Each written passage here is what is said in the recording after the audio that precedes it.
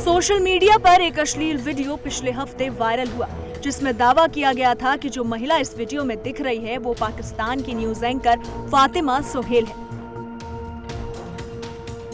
आपको बता दें कि फातिमा सोहेल पाकिस्तान की न्यूज़ एंकर होने के साथ ही पाकिस्तान के सिंगर, एक्टर और राइटर मोहसिन अब्बास हैदर की पूर्व पत्नी भी है। इस वीडियो के वायरल होने के बाद लोगों ने फातिमा को ट्रोल करना शुरू कर दिया।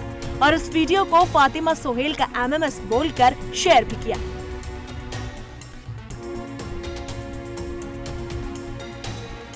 वीडियो के बारे में फातिमा ने अपने इंस्टाग्राम पर ये कहते हुए कई पोस्ट शेयर किए कि वो इस वीडियो में नहीं है और ये सिर्फ़ उन्हें बदनाम करने की एक कोशिश है। एक न्यूज़ चैनल में बात करते हुए फातिमा ने कहा कि मैं इस वीडियो में नहीं हूँ, मेरा इनसे कोई संबंध नहीं है, ये मैं नहीं हूँ। मैं अपने बच्चे के साथ अकेली हूँ। मैं अपने आप से बहुत सारी लड़ाई लड़ रही हूँ। मुझे दुख पहुँचाने की कोशिश की जा रही है और आप सभी जानते हैं कि वो व्यक्ति कौन है।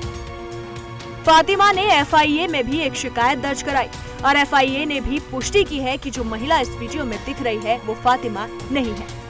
आपको बता दें कि फातिमा ने मोहसिन अब्बास पर घरेलू हिंसा का भी आरोप लगाया था और अब फातिमा अपने बेटे की कस्टडी के लिए केस लड़ रही हैं। News desk.